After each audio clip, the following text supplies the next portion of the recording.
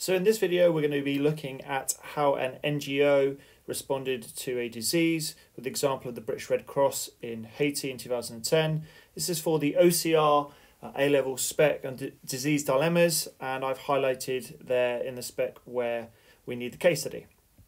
So some background information, it obviously happened in Haiti which is uh, in the Caribbean. Uh, Haiti is an extremely uh, poor country and the earthquake happened on January 2010. Um, it was a magnitude 7, and the epicenter of the earthquake was just west of uh, the capital, Port au Prince. It was actually in a place called uh, Léogâne, and this was therefore very, very close to a highly populated area.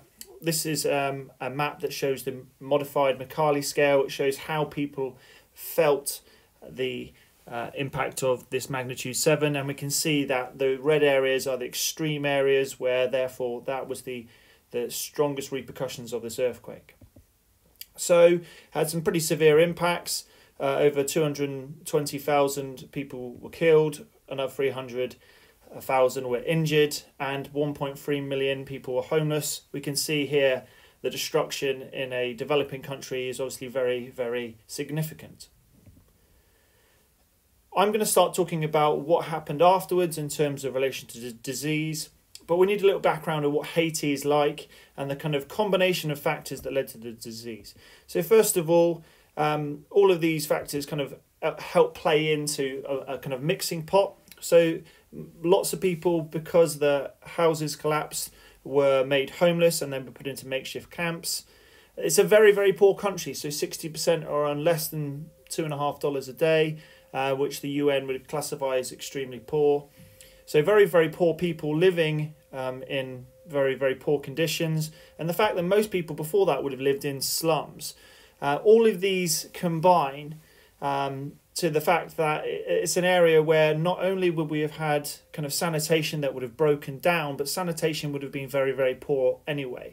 So when the earthquake happened, these very, very vulnerable uh, people would have had their kind of sewage and their drinking water mix. And obviously, when these happen, this leads to kind of waterborne uh, diseases, um, uh, diarrhea based diseases. But we're going to focus on the fact that there was a cholera outbreak, which is a waterborne disease. In terms of the, the the numbers that happened, we the outbreak um, actually came in October. So after the earthquake, the, the cholera outbreak was confirmed by October 2010. And by 2014, we'd had 720,000 cases and uh, close to 9,000 deaths, 8,700. We can see on the map here that there were certain high concentrations of it. So Port-au-Prince as where the impact actually happened, but also to the north um, uh, of the country, we also saw impacts. By um, kind of a, an accumulation by 2020 they, they worked out there was roughly about 800,000 cases that happened and over 10,000 deaths. Obviously recording this is quite difficult so these are estimations. So I'm going to look at British Red Cross and what they did to try and mitigate this disease. The, the, the kind of basic ways that they actually helped was that they gave clean water and sanitation to people in the camp the camps, especially around Port-au-Prince, which helped uh, support 300,000 people. They beat, uh, built um, a, a hydra, uh, hygiene program which included 1,300 latrines that that served 250,000 people, and then they would give medical supplies not only to people but they also gave them to the hospital, uh, the main hospital which was um, in St Mark. The other thing that they also did is um, here we can see someone who's getting um, a cholera um, oral uh, vaccination. So uh, cholera treatment was actually provided, especially in those camps, and nearly 20,000 uh, cases were actually provided for at the time. The last thing they did that was also very significant was they raised awareness. So they had volunteers working for the charity went door to door and told Haitians how they could spot cholera and avoid infection. And they also got this message out via new newspapers and radio. Therefore, people could uh, see their own symptoms and try to mitigate the disease themselves. In terms of success, uh, by 2011, so this is just uh, nearly a year after, we were having up to 35,000 cases a month.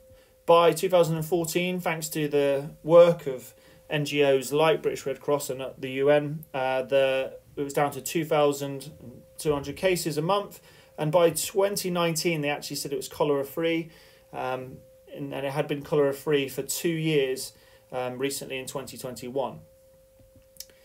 The, the, the one thing I'm going to pick up about this in, in terms of the success of it is the British Red Cross is also part of the International Red Cross, which includes the American Red Cross. And if we're going to be slightly critical, uh, lots of money was given in aid to the American Red Cross, and unfortunately, it actually hasn't been um, given to the Haitian government, or there's allegations that there's been corruption in terms of the aid giving process. Here are some headlines.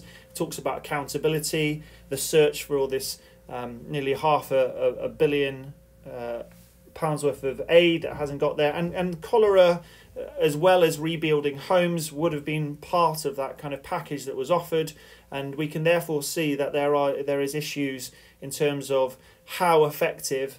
Um, NGOs can be, but also that there is corruption when they are involved with working with governments and local institutions. The last thing to mention is the UN later came out and admitted that they actually transported cholera to the country um, from Nepal, where they were helping uh, in earthquakes there. And so we can again criticize international institutions in terms of do they actually help mitigate diseases, or sometimes can they be the actual cause of mitigating diseases?